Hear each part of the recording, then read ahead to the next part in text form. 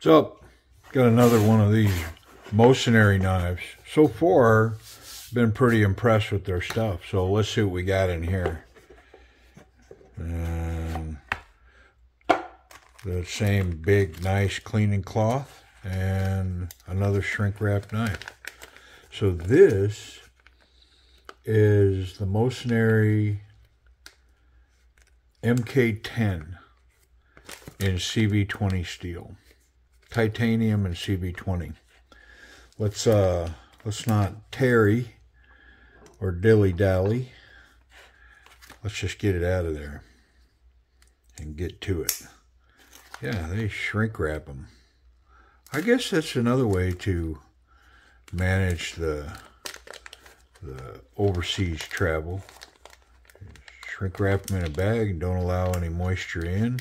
Shoot a little oil in there which they did here, and send it on its way. I don't think this is needed at this point, so I'm going to get rid of that. I think we can do away with this. like that little knife. Whew. Okay, let's get rid of this box. All right, oily.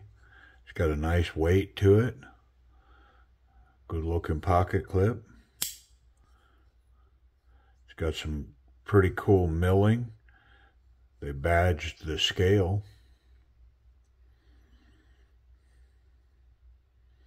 And really clean profile. I mean, pretty nifty. Pretty cool. Lanyard hole. And a front flipper with some jimping. Looks like it's uh, maybe a bolster lock let's get this oil off it, and then, man, we're going to run that action because you know I want to get in it. I want to see what's up. I like this raw titanium. To me, that's a good look for a, for a tool, for a piece. It's pretty cool. All right. Got that surface coat off. Yeah, feels good in the hand. It's nice. I mean, the edges are crisp.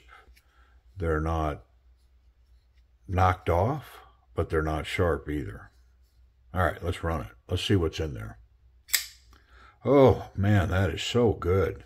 Let's get this oil off. So I see two things with the blade here. Three, I guess. Nice little harpoon shape, I think that's going on there. But it's got a hand satin finish here and up the uh, spine and then it's got this coating that I've seen on other knives um, down here and it's up at the top on the swedge. It's got the Mocenary badge, then on the backside, MK10, Rattlesnake, CPM 20 CV. But oh, did that run nice got the locks got a little I don't know a little cutaway machine portion there for to grip it out. Let's see how that works. Yeah, pretty nice. That lock is pretty stiff, but the action here is pretty smooth. I could tell the only thing holding that back is that detent, and it's and it's stiff. So if I move it out of the way, yeah, that blade freewheels. So the only thing controlling that that shut action is the detent ball. Yeah, nice.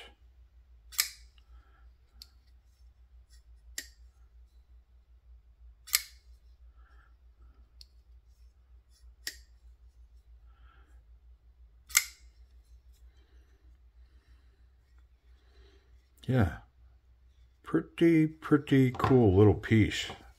I'm digging it. Well, you know, let's get in it. Let's see what's going on. See what makes this thing tick from the inside out. Uh, T6s, I'm assuming. Yep. That's okay. I'm not a hater of T6s.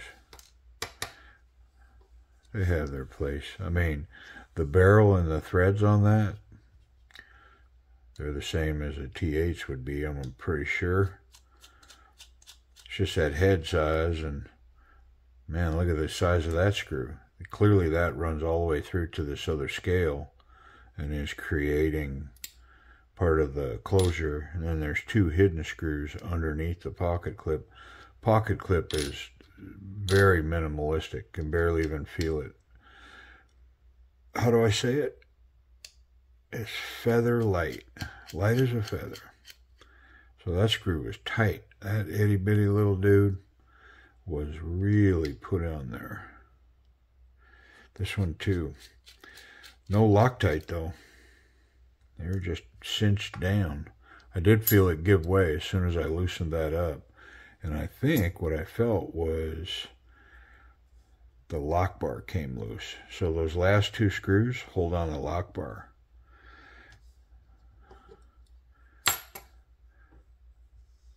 Thinking maybe that one's got to come out for it to come apart. I'm not sure. Probably. Yeah, it's screwed in from both sides.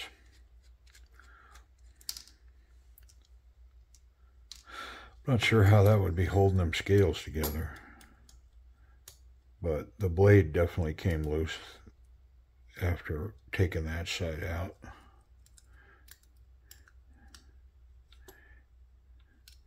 Ooh, what's holding us down here? There's that there's that lock bar. So it's a liner lock. It's not a bolster lock. I guess this is just milled so tight that it doesn't want to let go back here. There's a pins or something in between those two scales and they are tight. I mean, I don't feel any give in there whatsoever.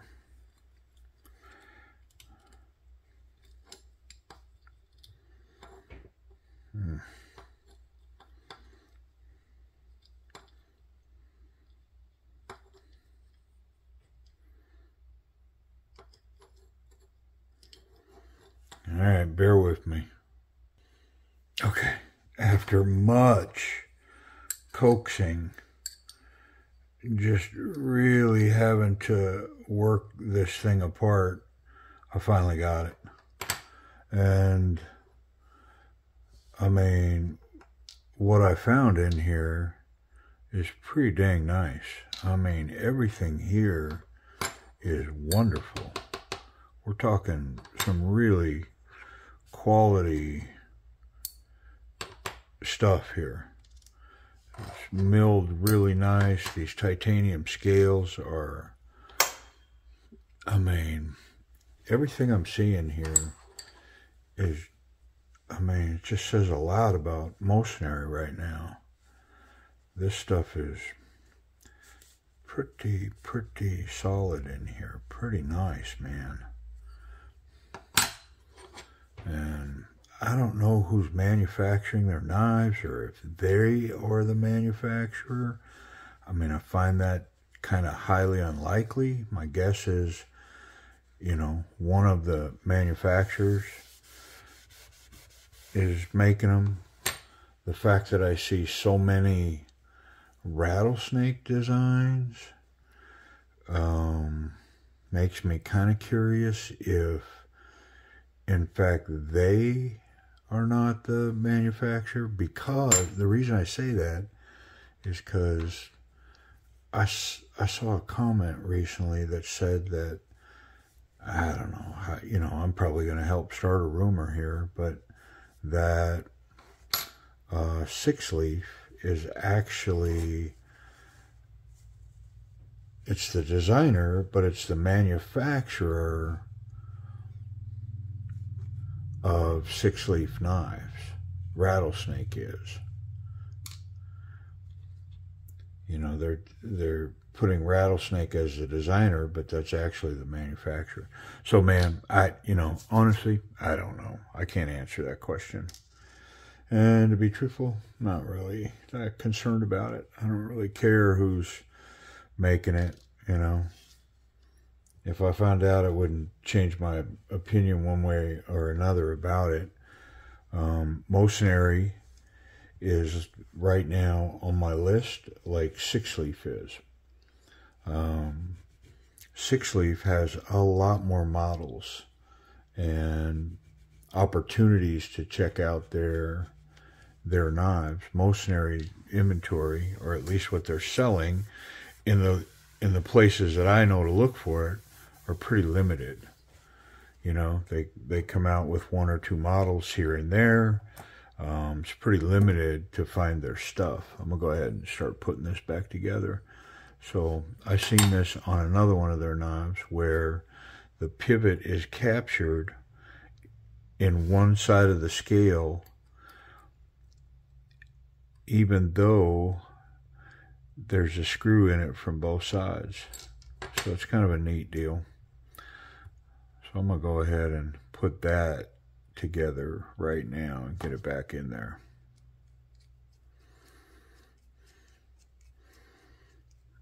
And then in order to get that correctly tight, hmm, interesting.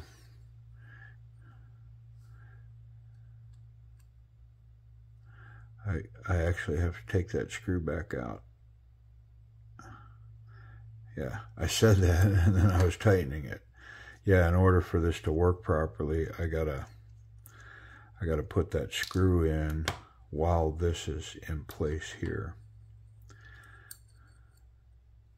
Like so. Let's try it again.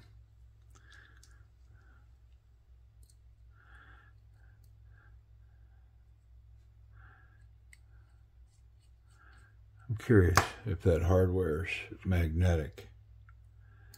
It is not. So what does that tell me? That piece is, stop it.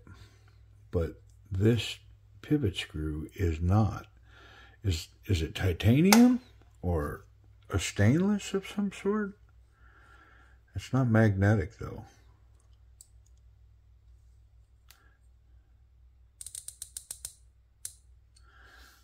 Okay, so now we're captured there. Um, I guess a washer, shiny side up, and some bearings. That is a pretty rough surface right there. That is not polished on that blade where the bearing's running. So I'm going to give it its best chance to run and put that face down against that, that shiny washer.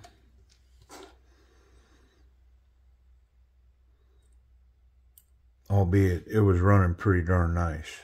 I didn't have any complaints about the way it was running. It's got internal stop pins.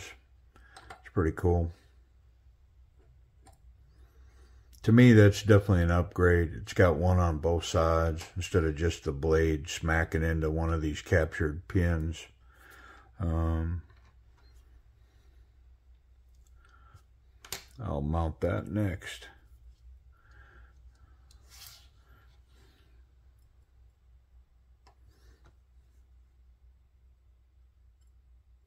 Yeah, so anyways, these guys are kind of on my list like Sixleaf is.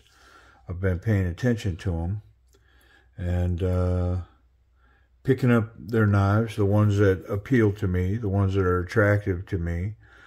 I've been uh, picking them, picking them up as I go, and uh, I am finding myself pleasantly or pleased with what I'm finding. Um, pretty, pretty good stuff so far. Nice little button lock. Um, it also was in CV, 20 CV. Now I've got this one. I've got a couple others sitting around here that have come in that I need to get checked in, run a video on, check them out.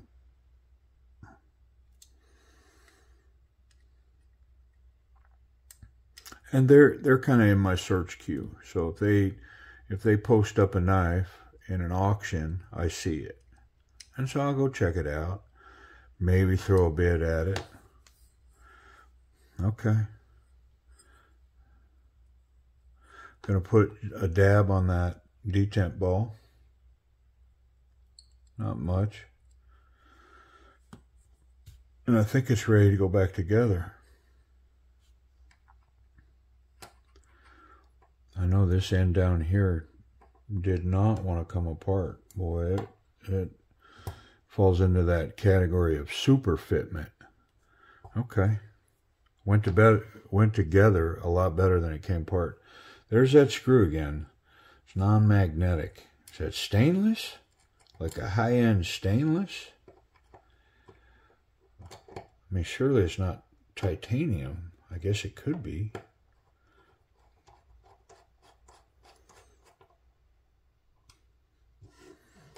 Okay. Pocket clip's got a good profile. It's recessed into the titanium. So, you know, it's basically a rectangle, so it's got lots of surface in that milling, uh, which, you know, makes me comfortable with this one screw mount system. Uh, should never have any problems with this as far as wallering it out or coming loose or whatever. Should be pretty good.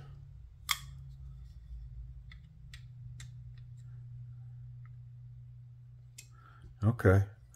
So now it's just down to getting this with the proper tension on it.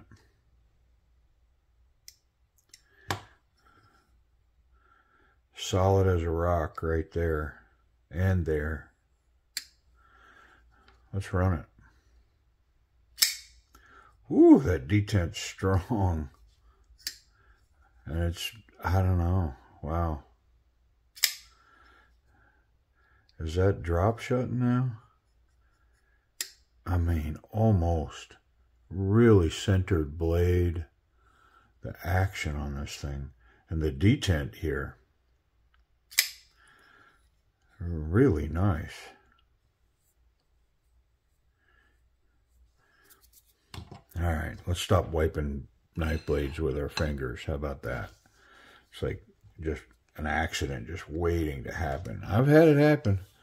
I've actually been wiping a knife with a, a thin towel like this, being aggressive, trying to get tape off or something, and running across the blade and had it, the sharpness of it go right through that towel and cut me. So, yeah. I guess it's the hazards of the occupation, man. Ugh. I mean, I'm liking this thing quite a bit. Now, there's there's some things lacking here. I'm going to get to them.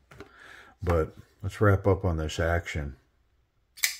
It's really nice. This jimping on top here. It's bitey enough to get your thumb on there. It's And it's high enough. The jimping goes right to the top. And so it's pretty confident to just run the thumb right over the top of it. I like it. And almost drop shut at this point. It's got a nice little ring when it locks in on that detent on the bottom. We'll run it slow, get a feel for how strong that detent is. Yeah, pretty darn nice.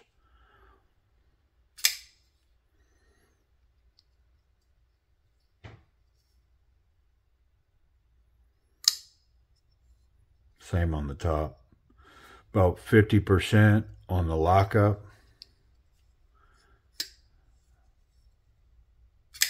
Very cool. I like it. Ergonomics. So there's a sharp little corner right here. I do feel it. Actually, that's not the one I'm feeling. I'm feeling this corner right here. I do feel that. I mean, on a hard, strong grip, um, this harpoon's got a nice landing place for the thumb. I mean, all in all, the size of this and the way it is, pretty solid grip, but I'm not going to call it confident because if this met resistance, there's no finger guard here to hold the, hold the hand back. So, I, you know, is it pokey? Is it, I mean, man, if you run it like this, pretty confident stuff right there. Uh, but would I classify this as a as a self-defense weapon? Nah, I wouldn't. Now, I don't know. A lot of a lot of guys might. If I was wearing gloves, uh, leather gloves, possibly. Yeah. But as it sits, I you know, I'm gonna say I like the ergonomics. I like the grip. But I can't on my scale of confident, not very confident, very confident, this one's definitely down in this range. Just because there's there's no protection. You know, if this hits some heavy leather or a button or you know, anything that it got resistance, it's going to make the, the wielder of this a casualty. I do like these two little, I'm not sure what that is. It, re, you know, it reminds me of, it just popped into my head. It reminds me of Star Trek because I think they have the Klingons count down, or maybe it's Alien, Predator versus the Predator you know, their little timer countdown. Anyways, man, I don't know. I don't know what that is, but all right, let's check the pocket clip. I got high hopes for it. Looking at it, looks like it's got plenty of room. It's got nice ramp. Should get over the thick material. It does. It kind of bunched it up, so it caught it and it comes out pretty good. I think if I just took my time like that and got it over it, yeah, it completely runs pretty darn deep considering uh, it's a milled titanium clip and it's a good look. I mean, that's a good looking clip and it's it's there on jean size material, butter, money. It's got a good grip. How about back here where I carry? I like it. Yeah, runs really nice. Easy one hand in and out of the pocket. Pretty good. Check it for safety real quick. This back, uh, almost like an integral. Pretty darn cool the way that they've milled this and the tolerances of that. It's wonderful. Back here, it's almost, almost invisible. Completely flush together. The tip is definitely not accessible. I don't even got to try it's tucked up in there behind there. So great job by by Mocenary to uh, to build a safe knife in the pocket. This thing's going to go in one-handed. No worries about about cutting yourself. And I'll be honest, I, the the non-finger guard notwithstanding on this knife, this thing's going to go in my pocket. I just I like it. It's light. It's comfortable easy to deploy. I, I, mean, man, I like this thing. Uh, I wonder if it's sharp. Let's check it. I, I'm guessing it is, but we'll see. Yeah, kind of toothy. I can hear it. I think it would benefit from a strop. Probably would quiet it up a little bit. Let's try it. Okay, about three three runs each side, simple strop work. Oh, so much better. Just needed a little strop work. It's quieter. It's not near as toothy. Yeah, wonderful. Crazy sharp. All right, price and availability.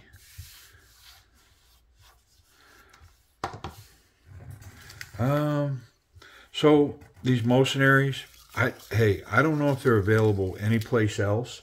I think I have seen them on AliExpress, but I can't speak to that. I but I think I have seen them there. Uh, I'm chasing them on eBay auctions. I follow them. There's a link below, I believe, for the Mocenary knife site. If not, I'll make I'm gonna make sure it's down there when I post this video. And uh, I picked this one up for around $90. So CV20 steel, MK10, rattlesnake design, full titanium, wonderful front flipper action, almost drop shut, about 90 bucks for 20 CV. Super sharp blade, needed a strop, qualify it, but yeah, I like it. It's a it's a MK10. Appreciate you watching.